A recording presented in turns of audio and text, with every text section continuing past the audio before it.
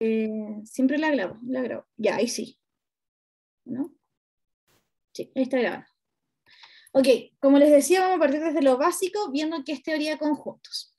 La definición dice que un conjunto es una colección de objetos, independiente de qué tipo de objetos. ¿ya? Un conjunto va a estar bien definido si nosotros conocemos todos los objetos que integran el conjunto. Por ejemplo, tenemos el conjunto de los números naturales, que comienzan en el 1, 2, 3, 4, 5 y así sucesivamente. ¿Ya? Ese es un conjunto. Yo conozco todos los números que están en el conjunto. ¿Cuántos elementos o cuántos objetos tiene este conjunto de los números naturales, Eduardo?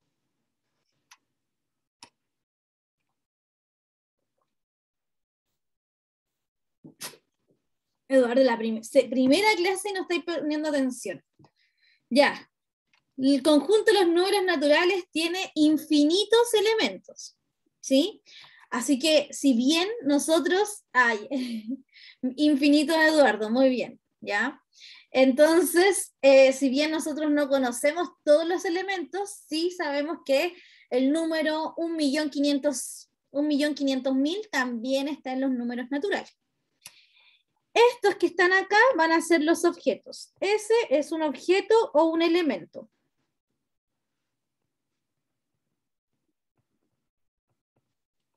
Como quieran llamarle.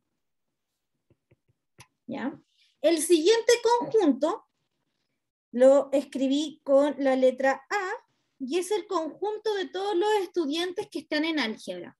Diego, creo que este es un ejemplo de un curso anterior, así que probablemente aquí lo tenga eh, hayan nombres que no están, pero además que tengo un Diego, tengo un Diego acá. ¿ya? Diego, por ejemplo, acá podría ser Diego, la Alexandra, el José Luis, el Cristóbal, la Isca, y así sucesivamente. ¿ya? Ese también es un conjunto. Ustedes son el conjunto de los estudiantes de álgebra que están en la sección, eh, en mi sección, ¿ya? No me acuerdo qué sección es esta. Entonces, en general, los conjuntos se denotan por letras mayúsculas, como esta letra. ¿Ya? En general uno los denota con letras mayúsculas. A mayúscula, B mayúscula, ¿sí? Exceptuando el conjunto de los números naturales que uno ahí lo escribe con esta N con doble palito. Eh, dime un conjunto, de cualquier conjunto que se te ocurra.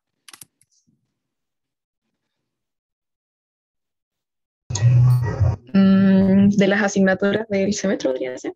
Ya, perfecto. El conjunto de todas las asignaturas del segundo semestre de Ingeniería Civil, Plan Común, Civil Informática, Civil Industrial, ya que sería álgebra, cálculo diferencial, y hasta ahí llego yo porque no sé cuáles son las otras, pero ese es un conjunto. Los objetos de ese conjunto sería cada asignatura que está en el segundo semestre de la carrera. ¿Ya? Ok. Hay dos formas de escribir los conjuntos. Fíjense que acá los conjuntos yo los escribí eh, con puntito suspensivo, ¿ya? Uno, dos, tres, puntito, puntito, puntito, y así un montón de otros números. Pero existen dos formas de escribir los conjuntos. La primera forma es la que acabamos de ver, que es por extensión, cuando yo escribo todos los elementos del conjunto. Por ejemplo, si escribo el conjunto de los números naturales, como el menos 2, menos 3, menos 1, menos 0, o sea, 0, 1, 2, 3, ¿ya? Como que los que no puedo escribir, porque como son infinitos, les pongo estos puntitos, ¿ya? Así se escriben los conjuntos por extensión. Pero no todos los conjuntos se pueden escribir por extensión, porque hay conjuntos de números que son infinitos. Entonces, la otra forma de escribir los conjuntos es por comprensión.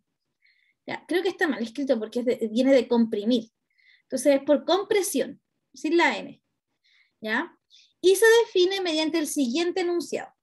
Estos dos ejemplos están un poco más difíciles, entonces para que se entienda voy a partir con otro ejemplo y esto los voy a explicar al tiro. Se los voy a escribir acá para después explicarlo y eh, tengo como mal diseñado mi este.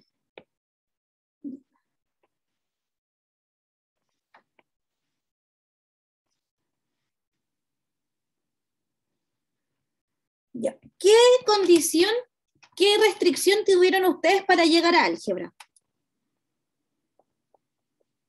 ¿Matemáticas qué? ¿Qué cosa, Cami? Eh, restricción como matemática. Ya, tenían que aprobar matemática, perfecto. Pasar mate. ¿Esa es la única restricción que tuvieron para tener álgebra? Sí, fue la única. Ya, la única. Entonces vamos a escribir a ustedes que ahora en vez de escribirlos por nombre y de escribir todos los nombres, los voy a escribir en forma comprimida. Voy a decir que A es el conjunto de todos los estudiantes, ¿sí?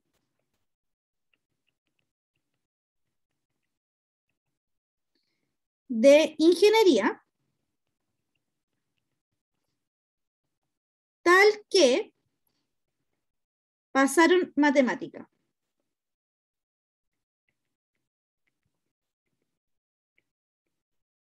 Y ahí lo escribí de forma comprimida. Podría escribirlo aún más comprimido, decir, van a ser todos los X, que serían los ustedes, que pertenecen a ingeniería, tal que, el tal que lo puedo escribir con dos puntitos muchas veces, eh, pasaron matemática.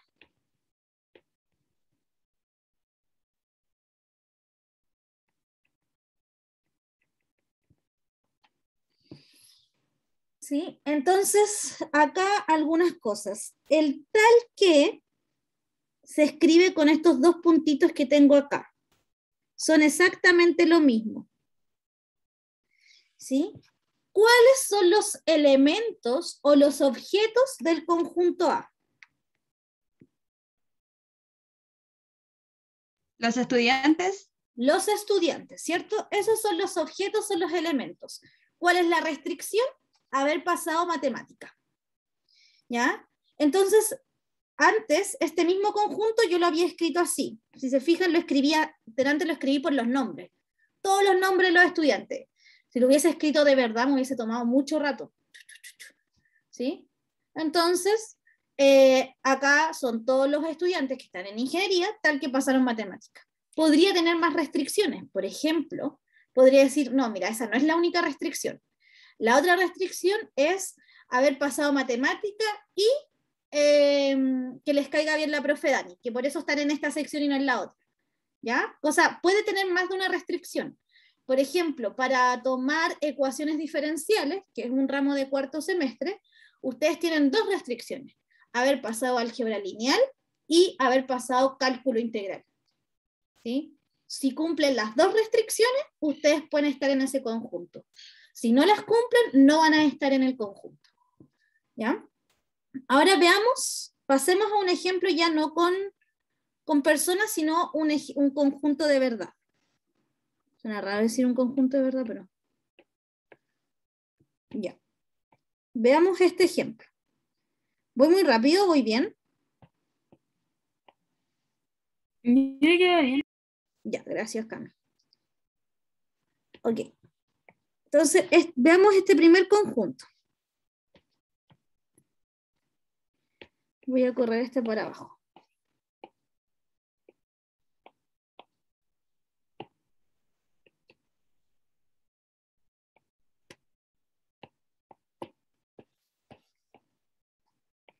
Ya. Primero. ¿Qué elemento? Ya, acá, ¿cuáles son los elementos de este conjunto? Me lo pueden subrayar si no saben cómo decirlo. Todos pueden rayar la pizarra de Zoom, le pueden ahí anotar. X, Y. Perfecto. Estos entonces son los elementos del conjunto.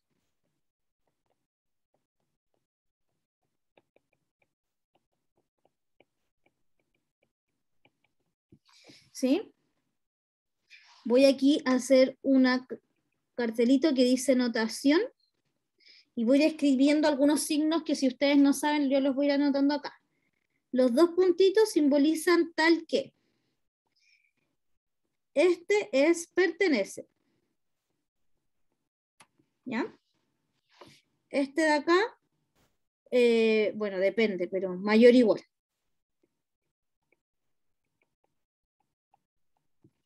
Ok. ¿Y cuál es la restricción de los elementos de este conjunto?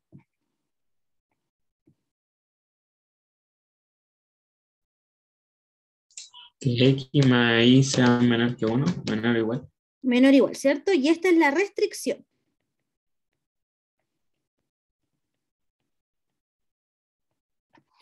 Cami, ¿tú me podrías decir un elemento que esté en el con- un elemento que esté en este conjunto?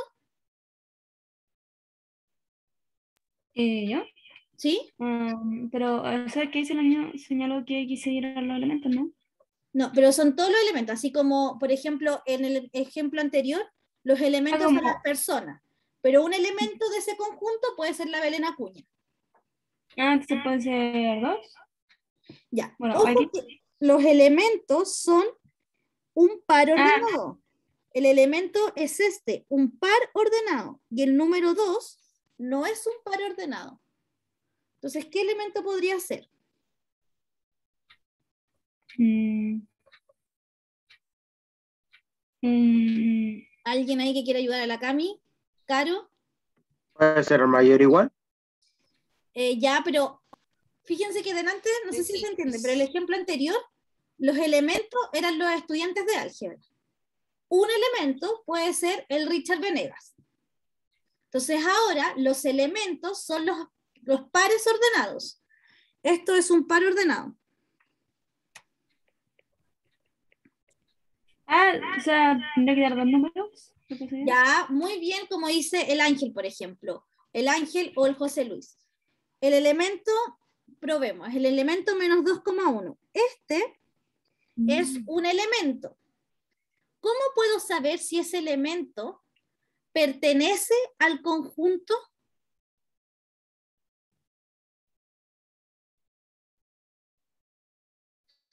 por la restricción. Tiene que cumplir la restricción, ¿ya? Veamos si la cumple. En los pares ordenados, siempre ese es el X y ese es el Y. Entonces veamos. Menos 2 más 1 es igual a menos 1. Y el menos 1 es menor igual al 1. Entonces, cumple la restricción. Por lo tanto, el menos 2,1 pertenece al conjunto. ¿Ya? Voy a probar otro ejemplo para que vayamos viendo. Me interesa que esto quede súper, súper claro porque no solo lo vamos a usar en álgebra, sino que el resto de los ramos de ciencias básicas. El José Luis me dice el 1 y 0. Veamos con el paro de ordenado 1,0. ¿Cumple la restricción? Tengo que hacer 1 más 0, que es igual a 1. 1 más 0 es igual a 1, que es menor o igual a 1. Entonces cumple la restricción. ¿Sí? Esa es la restricción. Tiene que ser la suma de ambas coordenadas tiene que ser menor o igual a 1. Entonces, el 1,0 pertenece a. Y hay muchos, muchos elementos que van a pertenecer a este conjunto hay, un hay infinitos números que cuando los sume van a ser menor o igual a 1. Y yo no puedo acá, este conjunto, si lo escribo por extensión, no puedo escribir los infinitos números. Por eso uno utiliza esta forma de escribirlo comprimido. ¿Ya? Vicente, ¿tienes algún otro elemento que tú creas que pertenece a este conjunto?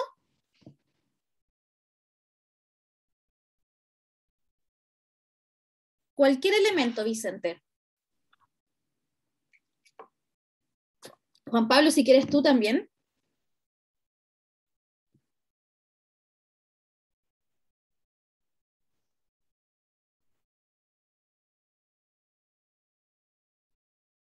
Ya, el Vicente dice que se cayó recién. Ya, eh, Isca, ¿algún otro? La Caro me dice el menos 3, 0. Probemos el menos 3,0. Entonces acá me va a dar menos 3 más 0, que es menos 3 y que es menor o igual a 1. ¿Sí? Entonces, ese pertenece al conjunto.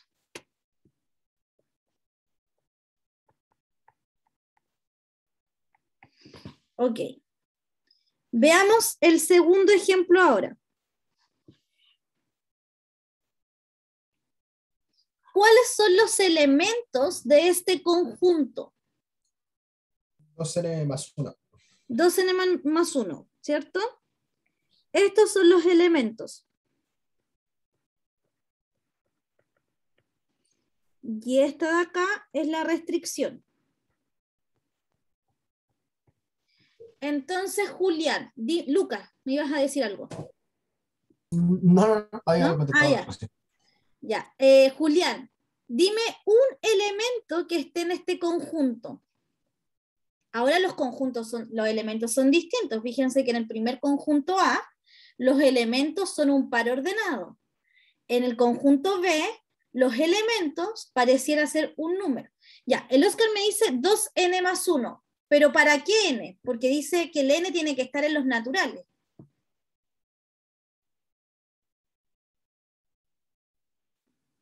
Ya, José Luis, sí, son positivos, pero no, solo, no todos los positivos. Por ejemplo, el 2 no está, si no me equivoco. Los impares. Ya, pero entonces tendría que ir viendo ahí. eh, acá funciona un poco distinto el conjunto, porque van a ser todos los elementos 2n más 1, tal que ahora la restricción es que n sea un número natural. Por ejemplo, el n igual a 1. Y me va a quedar que el número 2 por 1 más 1 pertenece al conjunto B. Que es lo mismo que decir 3 pertenece a B. El ángel me dice, no, no, no, ah, no, serían todos los números positivos. No, no. Que esos son los elementos cuando pregunto, ah, ya, gracias, Oscar. El ángel me dice, profe, ¿los elementos del conjunto siempre se ubican a la izquierda? Sí. Ángel, perdóname, Ángel, disculpa. Sí, mi, perdón, perdón. Solo tengo una muy mala manía de usar muchos pronombres. Ya, todos los impares positivos. Dice, dime, Nico. Eh, entonces, la vez, aquí hay que darle el puro valor a la n, ¿cierto? Acá hay que puro darle valores a la n. Ya. ¿ya? Entonces, dime otro elemento de este conjunto, Nico. Ah, eh, siete. Ya, 7. El Nico dice que el 7 pertenece a B. ¿Cuánto vale el n en ese caso?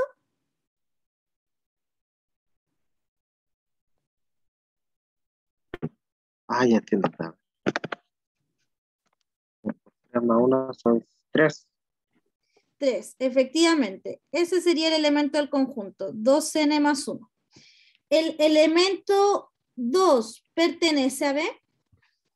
¿Sí o no? No, ¿Por qué no? porque por la suma de imposible. Ah, debido a que No. los n tienen que ser naturales, Justo eso, ¿cierto? se podría poner, justo por eso. ejemplo, en un medio. Ya, este signo lo voy, a, lo voy a agregar aquí a la anotación. Ya, el signo es no pertenece. Entonces, el 2 no pertenece porque para que me dé 2 va a tener que ser 2n más 1. Esto implica que el n sea eh, un medio que no pertenece a los naturales. Un minuto. Ya, fuera.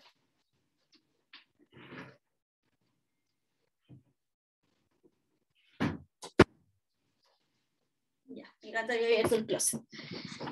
Ok, entonces acá el 2 no pertenece al conjunto B, porque para que me dé 2, el n tiene que ser un medio. Y si el n es un medio, el, eh, un medio no pertenece a los naturales.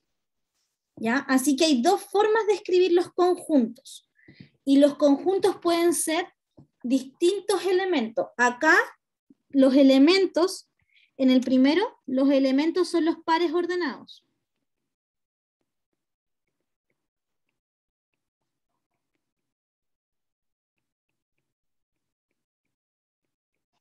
Acá los elementos son números. ¿Ya? En otro conjunto, los elementos pueden ser frutas, pueden ser polinomios, eh, funciones, lo que sea. ¿Ya? Voy a darles un minuto ahí para que puedan copiar y continuamos.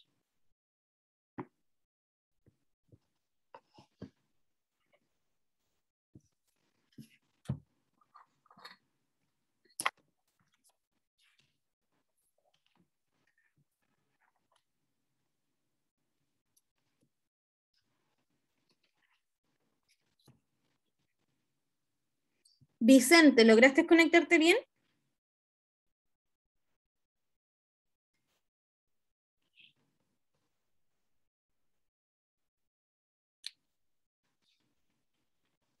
Me he caído como tres veces. Vicente, acuérdate que la clase igual queda grabada. ¿Ya? Profe, ¿le puedo hacer una consulta por mientras? Sí, obvio, Ale. Dime. Profe, ¿cómo lo vamos a hacer con las clases presenciales? Ale, todavía no tenemos nada visto porque eh, cuando me asignen la sala física, ya, por ejemplo, la A702, entonces recién ahí yo voy a poder saber cuántos alumnos caen en la A702 y desde cuándo tengo asignada la A702. Ah, ya, profe. Gracias. Entonces cuando a mí me asignen la sala, voy a poder saber cuántos caen en la sala que me asignaron y desde cuándo puedo usar la sala. Así que por eso voy a dejar como todo eso hasta que me llegue la lista con la sala, yo les voy a avisar. Ya, entonces hay algunos conjuntos que son más interesantes que otros. Está el conjunto del vacío. El vacío, ¿sí? naturalmente, es aquel conjunto, es aquel conjunto que no tiene nada, ¿ya? Matemáticamente se escribe así. Es decir, es el conjunto de todos los x en los naturales, tal que x no es x. Para nosotros no vamos a usar esta notación, pero sí vamos a decir que es el conjunto que no tiene nada.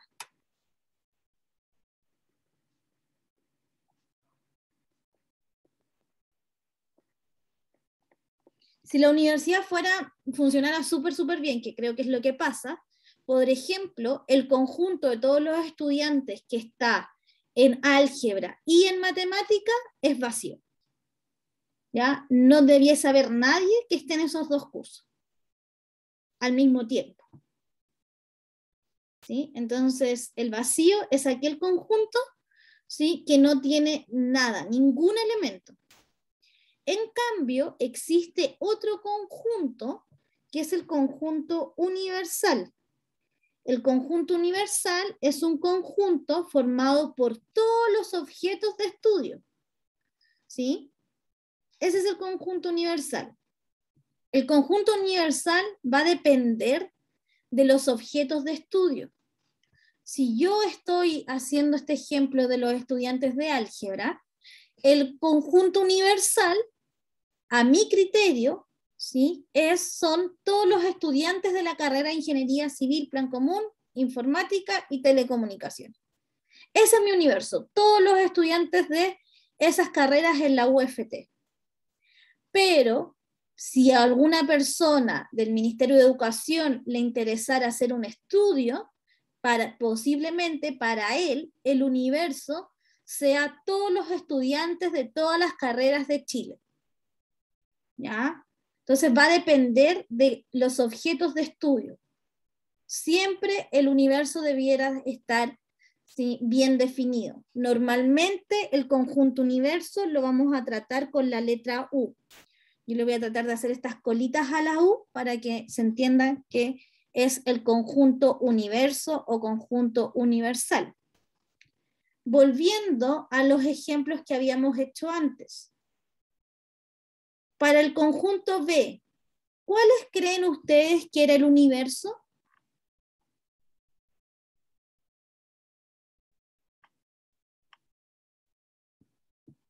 ¿Cuáles eran todos los conjuntos? ¿Todos los números naturales? Todos los números naturales, perfecto, Cami. Alguien podría haber dicho todos los números enteros, los positivos, los negativos, ¿sí? Alguien podría decir todos los números, no sé, y ahí va a depender, ¿ya? Porque el universo va a depender, es, variable, no es como que sea fijo. Rodrigo, me dice todos los números impares. No, porque el conjunto tiene que estar dentro del universo. Si el universo son todos los impares, entonces el conjunto B no está dentro del universo. Porque el universo es el conjunto formado por todos los números. ¿Sí? No sé si queda clara esa parte. Voy a esperar ahí la confirmación del Rodrigo. Sí, me dice el Rodrigo, ya. Perfecto. Eh, ya. O sea, Vamos- que no pueden ser subcon- subconjuntos. No, pues, Eso no puede ser- ¿no? Sí, por ejemplo, si seguimos en el trabajo de los estudiantes de álgebra, ¿ya? yo no podría decir que el universo son todos los estudiantes que están en, eh, no sé, en la carrera de Ingeniería Civil Plan Común, porque entonces estoy dejando afuera todos los estudiantes que están en otras carreras, porque el universo es todo, ¿ya? Todo, todo, todo. Va a depender de cada problema, ¿ya? Porque vuelvo a repetir, Entiendo. si el estudio lo hago yo, a mí me interesan los estudiantes de la UFT. ¿sí? Si el estudio lo hace alguien del Ministerio de Educación, probablemente le interesen los estudiantes de todas las universidades de Chile. Si el estudio es algo más internacional, tipo de la ONU, le van a interesar todos los estudiantes universitarios del mundo, y así sucesivamente. ¿Ya? Ok, ahora que hemos definido, entonces hemos definido tres cosas. ¿Qué es un conjunto? ¿Qué es el vacío? ¿Qué es el universo? El vacío siempre se escribe con este signo, fíjense, ese es el signo del vacío, y esta U es el signo del universo. Vamos a definir ahora, dime. Una consulta pequeñita, no sé. Es que no me quiero complicar mucho, pero bueno. El, dice usted que, o sea, dice ahí que el conjunto vacío es aquel que no tiene ningún elemento, ¿cierto? Pero se define como conjunto a una colección de objetos. Entonces, ¿no hay como una contradicción ahí que, que dice que, que sea un conjunto a pesar de que no tenga ningún elemento? Claro, porque en este caso hay una colección de objetos. La colección de objetos es esta. Lo que pasa es que ningún objeto cumple con esa restricción. Entonces ahí podría sí. Podría ser un poco contradictorio, pero por ahora vamos a entender que el, el vacío es este conjunto que no tiene ningún elemento. ¿Sí? Voy a buscarte ahí, Félix, alguna literatura para recomendarte como lectura liviana, como de esas, esas como, se llaman axiomas, esas como contradicciones matemáticas, porque por ejemplo pasa lo mismo con el infinito. Uno dice que el infinito está muy lejos, pero a veces cuando uno se acerca al cero también llega al infinito, el 0,000001 también podría ser infinito, ese tipo de cosas. ¿Ya? Ok. Eh, vamos a definir ahora dos, eh, dos tipos nuevos de metodologías. La primera, ¿cuántos dos conjuntos son iguales? Dos conjuntos van a ser iguales si, fíjense, para todos los x, ese, voy a volver a escribir aquí notación,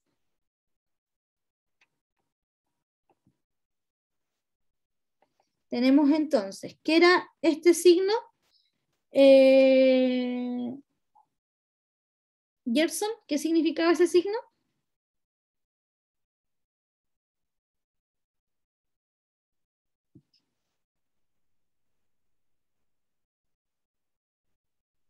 Gerson, primera clase y no está ahí. Ya, gracias Natacha, pertenece.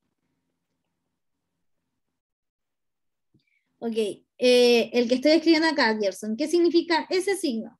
No sé si se alcanza a ver, lo voy a escribir más abajo mejor. Ese signo, ¿qué significa? No pertenece. Perdón, no pertenece. la otra. No te preocupes. No pertenece. ¿Ya? Y este signo, como una A invertida, es para todo. Y los dos puntitos es tal que. Ok. Entonces, dos conjuntos son iguales si para todo X la X que pertenece a también pertenece a B. Ese es el sí y solo sí. Entonces dice que para todas las X que están en A, sí y solo sí, el X tiene que estar en B. El sí y solo sí quiere decir que si el X está en A, el X está en B. Y si el X está en B, el X está en A. Como que es para los dos lados. Matemáticamente, el sí y solo sí se escribe con una flechita doble, que es sí y solo sí. Entonces, dos conjuntos son iguales si el X que está en A, y solo sí está en B, y si esa es la condición para que dos conjuntos sean iguales. Es decir, probemos acá, veamos un ejemplo.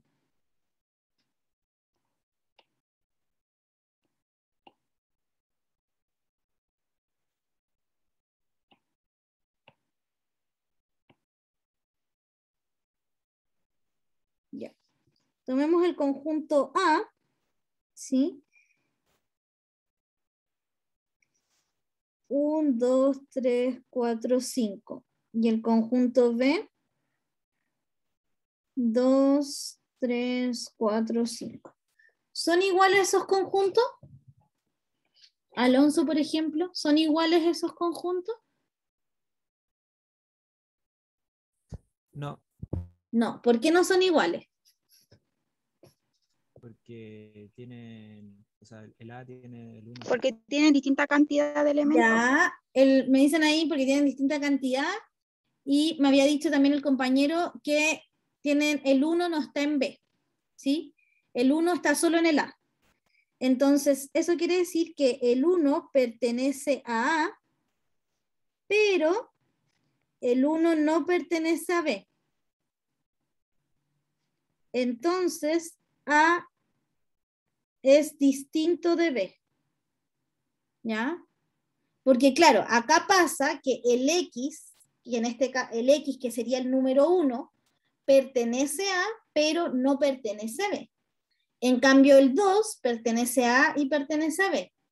El 5 pertenece a y pertenece a B. Y así con todos los otros. ¿Ya? Entonces esos conjuntos no son iguales.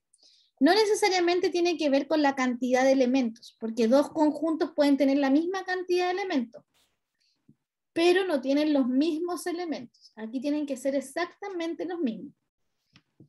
Me quedó raro ese pertenece. Ok. Otra, otra notación es entonces el incluido.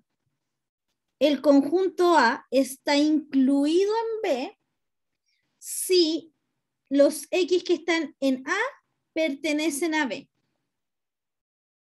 Pero fíjense que aquí no es para los dos lados. Este flechita, la voy a escribir acá, significa entonces. Entonces, si el X pertenece a A, entonces el X pertenece a B. Pero no necesariamente si el X pertenece a B, entonces pertenece a, ¿ya? Acá podemos ver que estos conjuntos, el A está incluido en B. ¿Por qué el A está incluido en B? ¿Por la N? ¿Por la qué? ¿Por la N? ¿Qué N? Ah, no, no está ya dando el ejemplo, ¿cierto? No, todavía me, me salté este. Ah, Después lo, después lo voy a ver. Este conjunto A. Este conjunto A y este conjunto B. Entonces la pregunta es, ¿por qué el conjunto A? Ah, no, me equivoqué acá. po. ¿Por qué el conjunto B está contenido en A? Tienen los mismos elementos. Ya, pero no necesariamente porque tenga los mismos elementos, sino que porque todos los elementos de B están en A.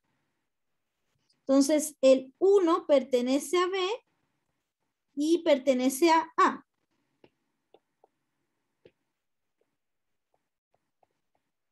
¿Ya? Es decir, el 1 está en los dos. El 2, no, aquí me equivoqué, no era el 1, era el 2. El 2 pertenece a B y el 2 pertenece a A.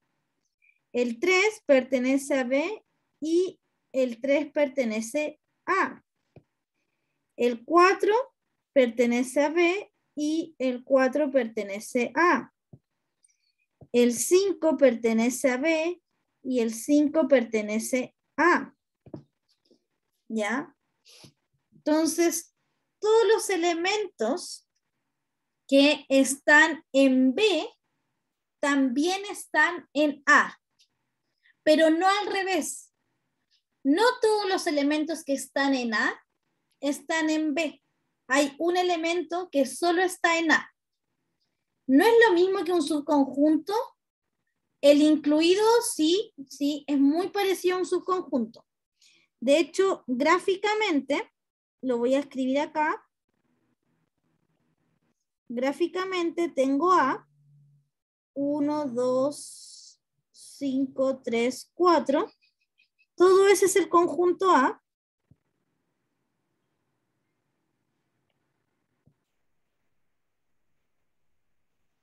Mientras que este es el conjunto B. ¿Sí? Entonces está, y el B está incluido en A. Todos los elementos que están en B también están en A. Pero al revés no. Hay elementos que están en A y que no están en B.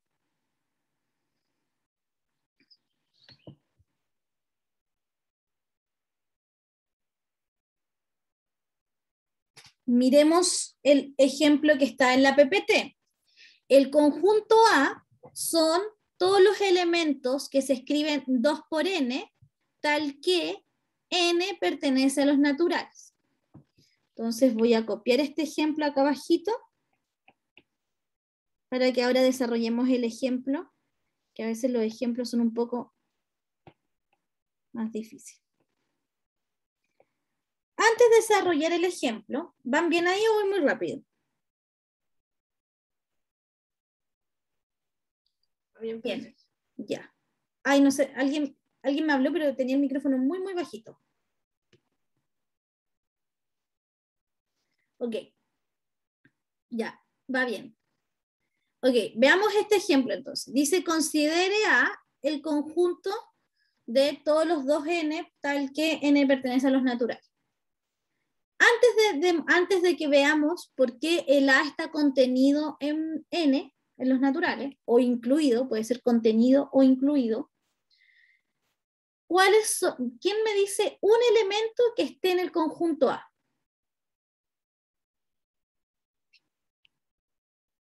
Rafa, dime, ya, un elemento, un elemento, no los elementos, ya, el 2, Ángel. Eh, ¿Cuánto vale el n para que el 2 esté? Perfecto, dijo uno. Fel- el, José Luis me dice 5. ¿Cuánto vale el n para que el 5 esté en el conjunto José Luis?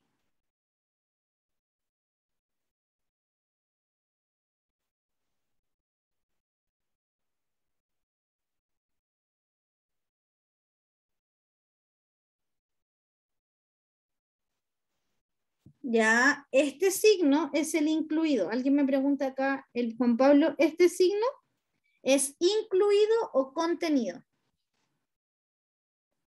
¿Ya? Que es el que estamos viendo acá. Ah, no, puse aquí el signo, perdóname. Ese signo, lo voy a anotar aquí. Incluido o contenido.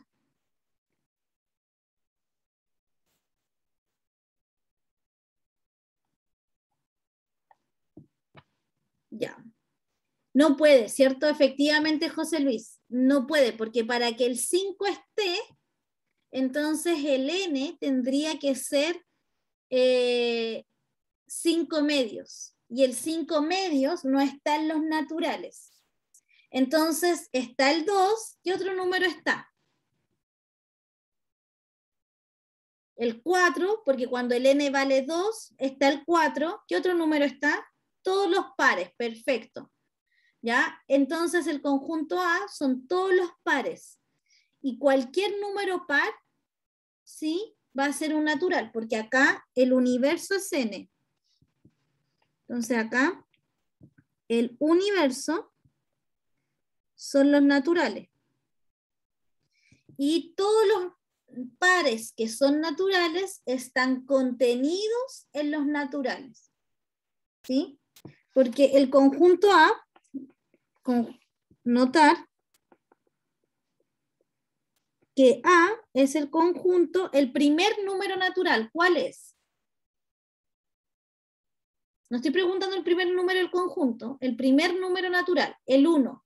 Cuando n vale 1, está el 2. El segundo, 2. Está el 4.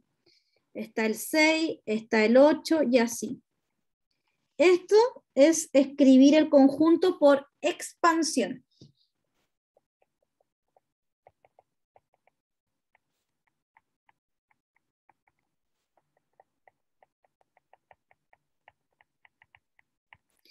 Y ese conjunto que tiene 2, 4, 6, 8 está contenido dentro de los naturales. Todos estos números son naturales, pero no todos los naturales están en A. El 3 es natural, pero no está en A. Ah, es una buena pregunta, Max. Max me pregunta, profe, me perdí. La diferencia entre pertenece y contenido. Hablamos de pertenece cuando hablamos de un elemento. El 2 pertenece a, es un elemento el que pertenece a un conjunto. Y hablamos de contenido cuando es un conjunto, el conjunto completo está contenido en otro conjunto. Entonces, el pertenece es cuando un elemento pertenece a un conjunto y el contenido es cuando todo un conjunto está contenido en otro conjunto. Sí, sí, el contenido puede ser el plural, ¿ya? Por ejemplo, acá yo usaría, para lo que me está preguntando Max, B está contenido en A y el 5 pertenece a. Entonces el B es el conjunto completo y el 5 es un elemento. Repasando tenemos definición de conjunto, definición de vacío, definición de universo. Ya sabemos cuándo dos conjuntos son iguales y también sabemos cuándo un conjunto está dentro del otro. Esas cinco cosas, ¿les quedan claro a todos y a todas? Sí, profe. Ya, perfecto, Cami. Con una Sí, seriedad la Cami, pero ya. Vamos. Recordar algunas de las notaciones que son importantes conocer. El pertenece, no pertenece. Yo acá no la quise usar, pero el I se escribe con este gorrito hacia abajo y el O como con una boquita de pato hacia arriba. La igualdad, que ustedes ya la saben. El contenido, ¿sí? Está la unión, que es esta U hacia arriba, y por eso el universo yo lo hago con estas aletitas. La intersección y el sí, solo sí. Si puedo agregar una acá, yo agregaría el entonces. El para todo. Y los dos puntitos que son tal que. ¿Ya? Esas son algunas de las notaciones que vamos a usar durante todo el curso.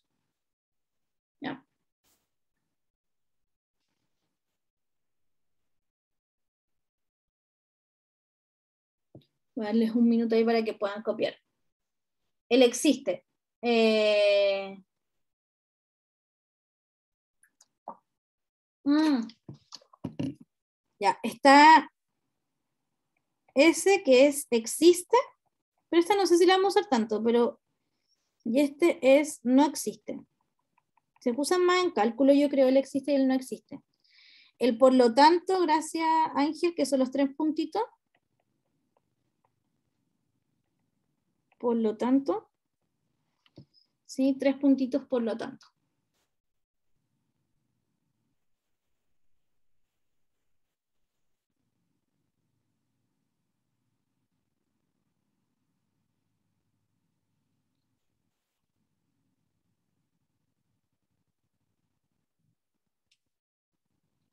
¿Ustedes toman apuntes o no? ¿Como para estar parando para que tomen apuntes? No lo sé. Eh, sí, yo por lo menos sí tomo. Ah, ya. Gracias, Cami. La vale, el Max igual, la Vale también y el Rodrigo. Ya, hay varios que toman apuntes, como para ir parando. Yo tomo pantallazo, caro, pero ¿pasáis los pantallazos a un cuaderno? ¿O se quedan ahí eterno en el computador? No, yo los paso, profe. Ah, ya, perfecto, caro. Sí, igual trato de ir parando como para los que toman apuntes puedan escribir y para un momento. Yo literal escribo todo, dice el Oscar. Ya, Oscar, voy a tener en consideración eso. ¿Escribes la PPT, el contenido de la PPT igual la escribes? ¿O alguien acá, por ejemplo, tiene la opción de imprimir la PPT y toma apuntes encima de la impresión? Um, yo diría eso, pero um, soy demasiado flojo para hacerlo. Así que lo dejo, no lo imprimo, pero si puedo leerlo, lo leo. Ah, ya, lo leo. Ya. Y anoto algo en el cuaderno que no haya notado que encuentre le- relevante. Ya. Ok. Y vamos a ver ahora algunas proposiciones. Las proposiciones son como un teorema, algo que siempre es verdad. ¿Sí? Entonces la primera proposición dice que si A y B son conjuntos, cualquier conjunto, fíjense que aquí no sé si son iguales, si son distintos, eh, si uno está contenido en otro, no tengo idea. Solo sé que son dos conjuntos. Entonces, si yo tengo dos conjuntos, se va a tener que, veamos cómo se lee esto. A es igual a B, y solo si A está contenido en B y B está contenido en A. Por ser la primera vez, yo lo voy a escribir literal lo que dice todo eso. Entonces se tiene que A es igual a B si y solo si Esta era de que todo era, todo, era cierto, ¿cierto? ¿O Sí. no? Sí, la proposición eh, significa que es algo que es verdad, como un teorema, como una ley. Hay diferencia entre proposición, teorema, corolario, ley, pero para efectos de este curso ustedes tienen que entender que esto, esto pasa. Entonces, A es igual a B, sí y solo si A está contenido en B y B está contenido en A. Entonces, A es igual a B, sí, solo sí, A está contenido en B y B está contenido en A. Nosotros tenemos que demostrar que esto es verdad. ¿Sí? Y yo diría que esta es la parte más compleja.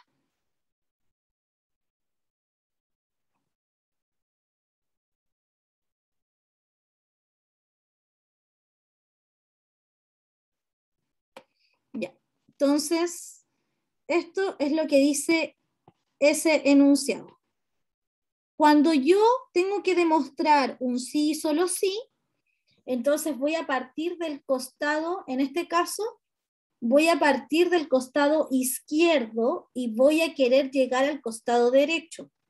Decir, voy a comenzar desde acá y con muchos pasos quiero llegar acá. ¿Sí? Con muchos, muchos pasos quiero llegar ahí. Entonces, vamos a comenzar desde acá. A igual a B. A es igual a B y vamos a subir a la definición de A igual a B. Nosotros sabemos que A es igual a B si pasa esto. Esto que está acá, ¿cierto? Cuando pasa eso, A es igual a B. Entonces, A es igual a B si solo sí pasa eso. Para todo X, X pertenece a A, si solo sí, X pertenece a B. ¿Ya? Entonces, esto lo voy a escribir como para todo X, X pertenece a A y X pertenece a B.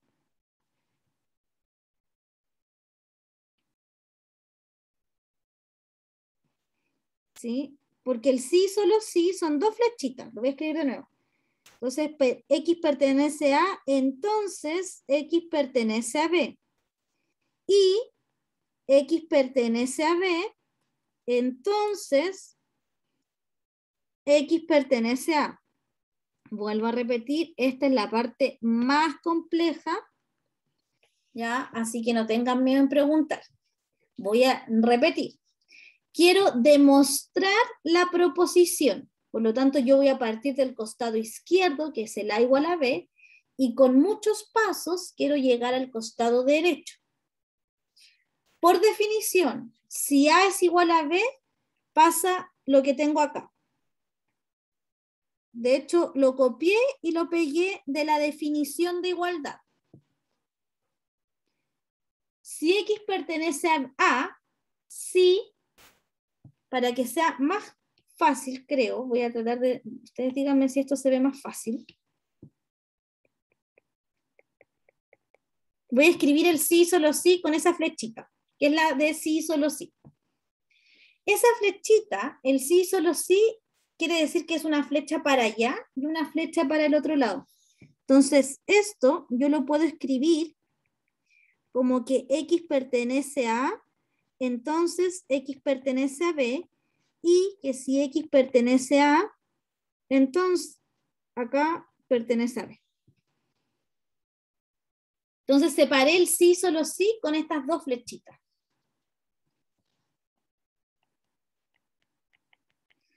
Ahora, esto quiere decir que todas las X que están en A están en B. Esa es la definición de incluido. Así que esto es A. Esto es A contenido en B. Y esto es la defini dice que todas las X que están en B, entonces están en A. Por lo tanto, esa es la definición del que B está contenido en A. Así que eso es B, o de otra forma, A, B contenido en A. Y ahí terminé. Porque este era el costado izquierdo y con muchos pasos yo llegué al costado derecho. Puedo arreglarlo ahí porque yo arriba tengo B contenido en A y abajo tengo A como el revés del signo, pero eso es lo mismo. ¿Ya?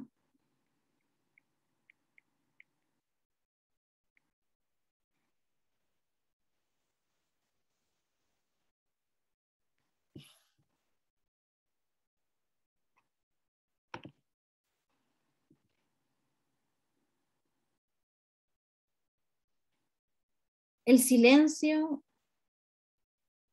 es como índice de que no se entendió nada. ¿O no? Belén, ¿cómo No. ves tú?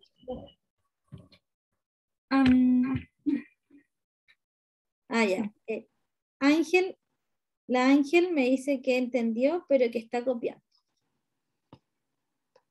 Gerson, Cata, ¿se entendió? Sí, profe. Ya. Entonces el sí, solo sí, son estas dos flechitas para ambos lados. Ya, la cara también dice que se entendió, todo bien.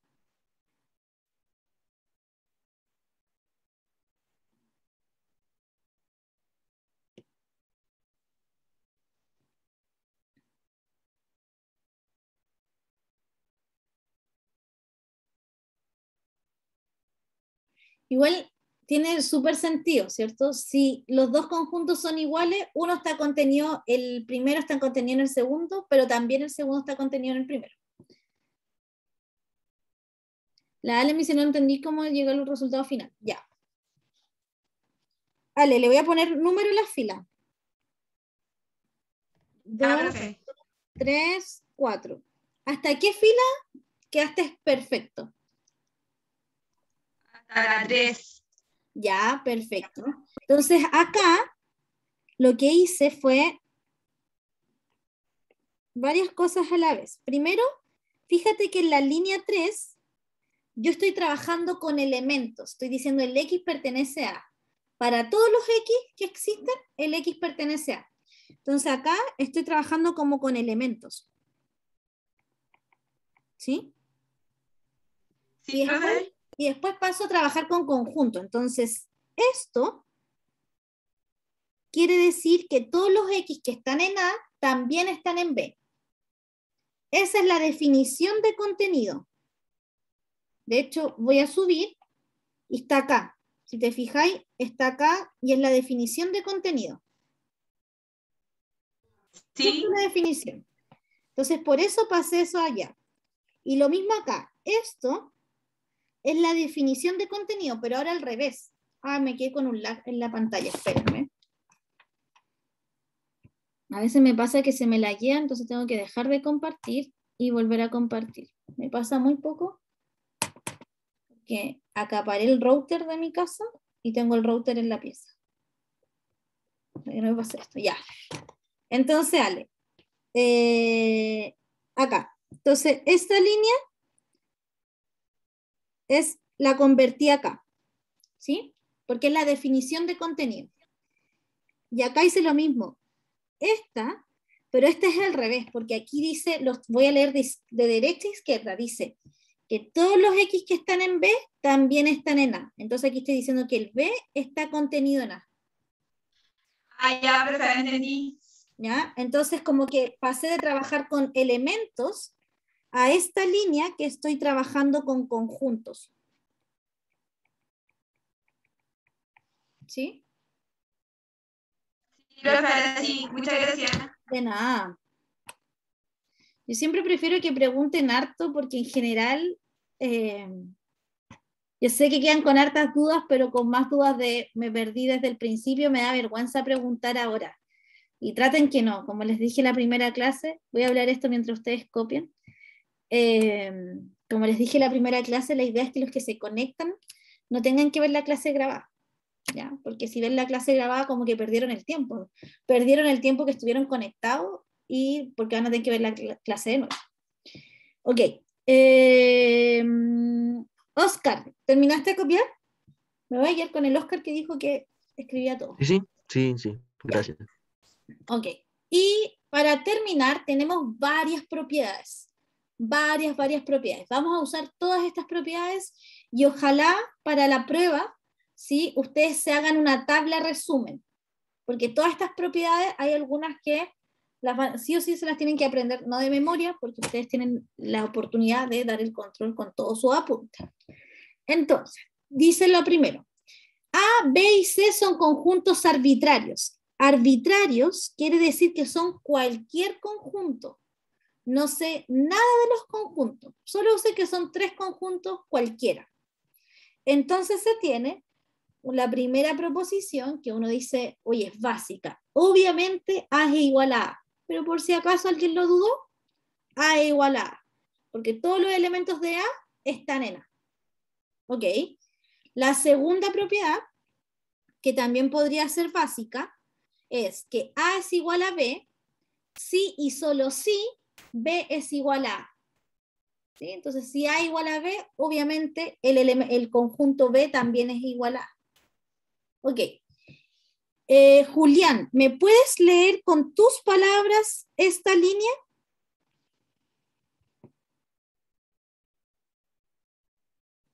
Yo digo leer porque si me la escribí va a ser más largo. No me importa si hay ruido ambiente, Julián, por si acaso. Ya, mientras el Julián escribe esa línea, el Lucas me va a decir con sus palabras esta línea, y yo ya sé que el Lucas tiene bueno el micrófono. Y el Rodrigo, con sus palabras, me va, eh, voy a configurar mis colores para la próxima, decir esa línea. Entonces tenemos al Julián, al Lucas y al Rodrigo. Lucas, ¿puedes leer esa línea?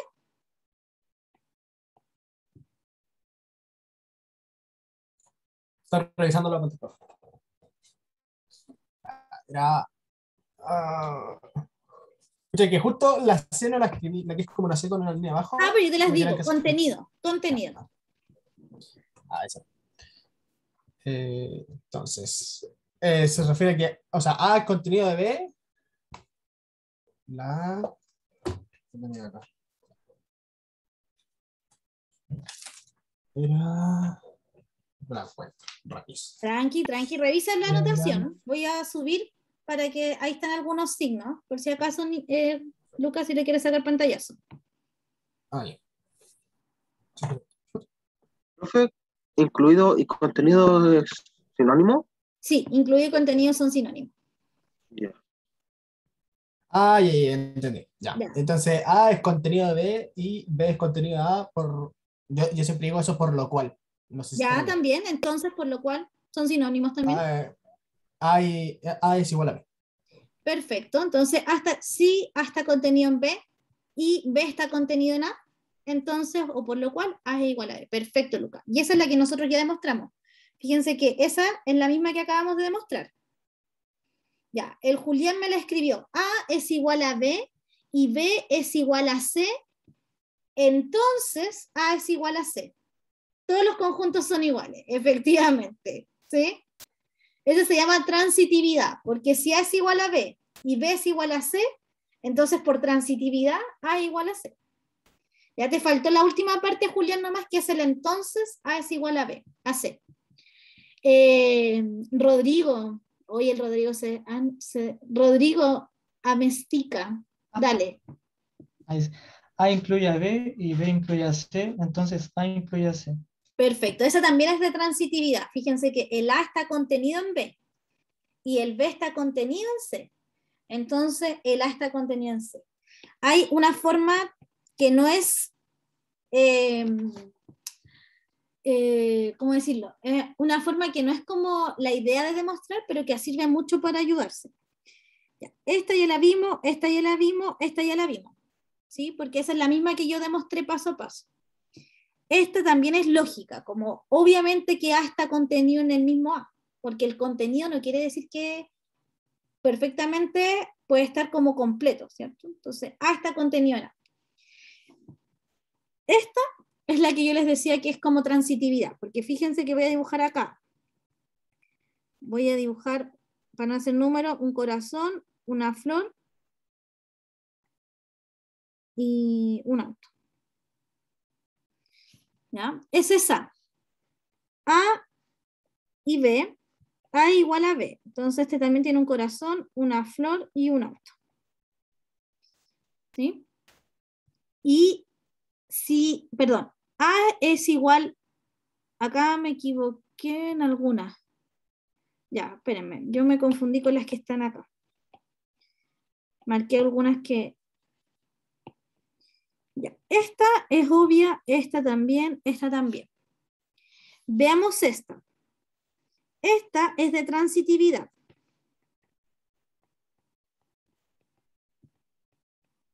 Y lo que dice es, si A es igual a B, entonces A es igual a B y B es igual a C, entonces obviamente A es igual a B igual a C, por lo tanto A es igual a C.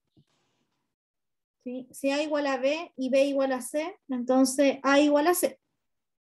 ¿Ya? Esta es transitividad de igualdad. Esta es la de la proposición.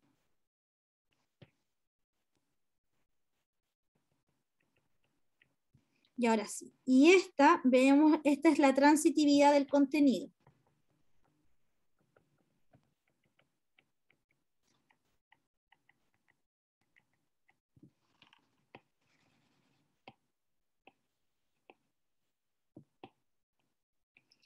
A está contenido en B. Entonces yo voy a dibujar acá B.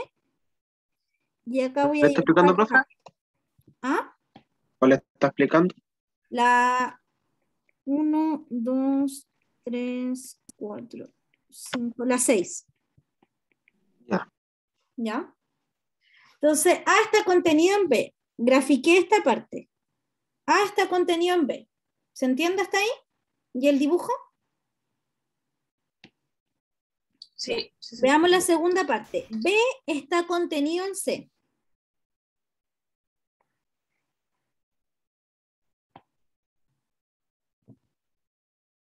¿Ya? Todo B está contenido en C. Entonces, obviamente, el A va a quedar dentro del C. ¿Ya? Esto que acabo de hacer no es una demostración formal, es solo un diagrama. ¿Sí? La demostración formal puede ser esa. Yo acá les voy a dejar como desafío para que empiecen a entrar en, en calor de cálculos. Hagan las seis como una demostración formal, no con, dibujitos, sino como yo hice la proposición. ¿Ya? Hagan ustedes las seis. Y la siete, que también pareciera ser lógico, que es el vacío está contenido en cualquier conjunto. ¿Sí? Por eso dice A está contenido en A. Y acuérdense que A es un conjunto arbitrario. Así que el vacío está contenido en cualquier, cualquier conjunto. ¿Ya? Ok, ¿dudas hasta acá?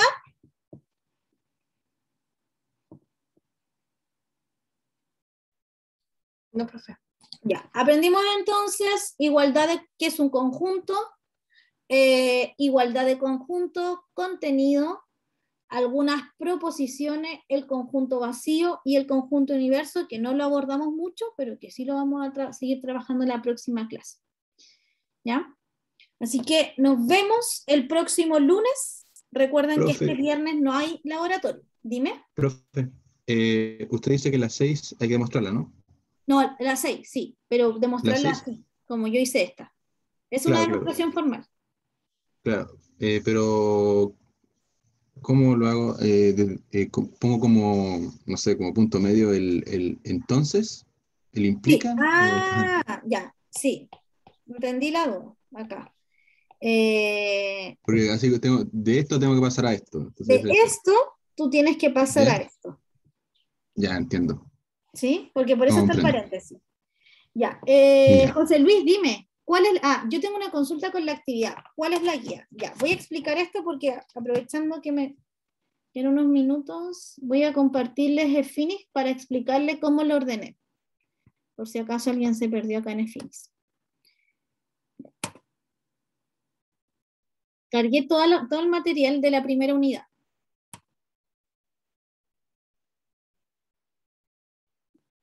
Entonces, acá en documentos, están las clases, están todas las clases, la de hoy, la del lunes y cargué cuatro clases al tiro, que son las cuatro clases de teoría de conjunto. Están las guías de laboratorio. ¿ya? Estas guías son las que vamos a usar los viernes en el horario de clases, así que no la hagan. Todas las que digan guías de laboratorio son las guías que vamos a usar los días viernes. ¿sí? Están guías de la unidad. Estas son las guías que usted debiera hacer antes del control, con mucha anticipación, porque la guía no es corta. ¿ya? Yo la voy a abrir, pero la guía es bastante larga. Entonces, por eso es guía de la unidad. Esta tiene todos los ejercicios de conjunto. ¿Sí? Si se fijan, son dos páginas. No ustedes todavía no creo que estén preparados para hacer toda la guía, pero sí eh, el ejercicio 1, por ejemplo, aparentemente. Todavía falta para que puedan hacer los otros si no me equivoco. Tal vez el 3, pero yo esperaría un poco más de clases para hacer esta. Esa es la guía, entonces está en guías de la unidad, la guía que usted tiene que hacer antes del control. Después está material extra. Material extra tiene algunos, algunas guías que tienen materia también. Entonces esta guía, o subir la misma guía dos veces. Ya, la voy a arreglar porque esa guía debería tener otra cosa. ¿Ya? Eh, y documentos, acá en tareas, yo dejé dos buzones. Esta es la actividad de la semana del 16 de agosto, no de esta semana. Por lo tanto, esta tarea usted tiene hasta el 22 de agosto para entregarla. ¿Sí? Y esta tarea tiene ejercicios. Esta no es evaluada, pero sí es lo que yo le recomiendo que usted debiera hacer semana a semana para que antes del control no se le junte todo. ¿Ya? Y estas son actividades que yo voy a ir dejando semana a semana. ¿Sí? Así que eso es como más o menos la forma en que ordené EFINIS. Ah, Las actividades que son semana a semana, em, en el buzón tienen como la fecha como de cierre, como límite.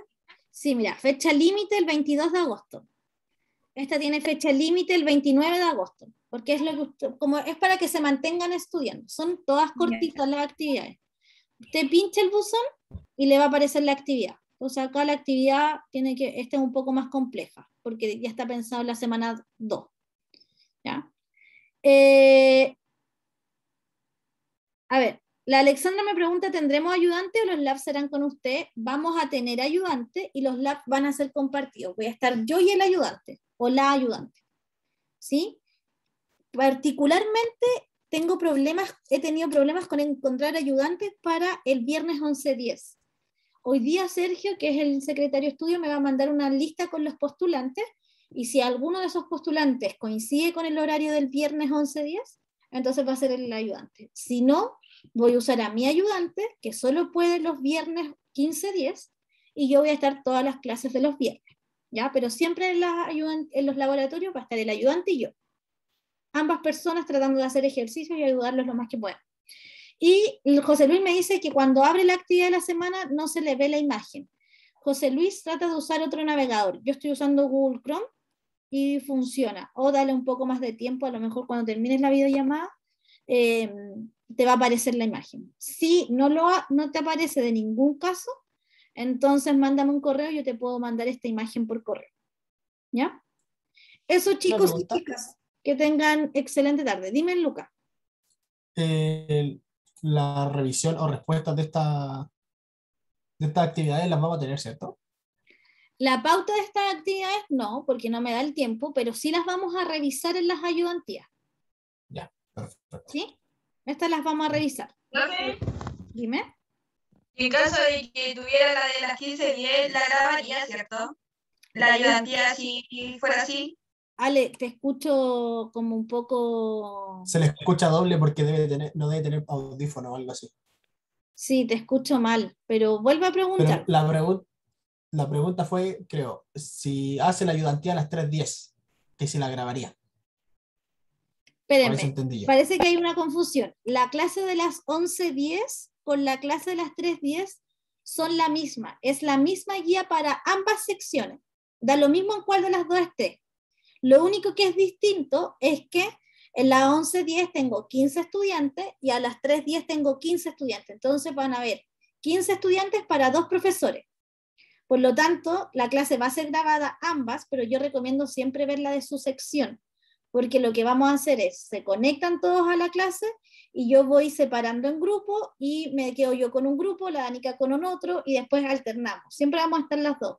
O sea, no sé si es la Danica, pero ¿ya? Así que no es que una sea ayudantía y la otra sea ejercicio, como que son la misma clase repetida. Lo que cambia es que como hay estudiantes distintos, las dudas van a ser distintas, ¿ya? Pero es súper personalizada esa clase de los viernes. Ok, ahora sí me despido entonces antes de, para que puedan descansar antes de la otra clase. Que estén súper bien. Chao, chao. profe, que esté bien. Gracias. Chao, profe. Chao, profe. Chao, profe. Nos vemos, profe.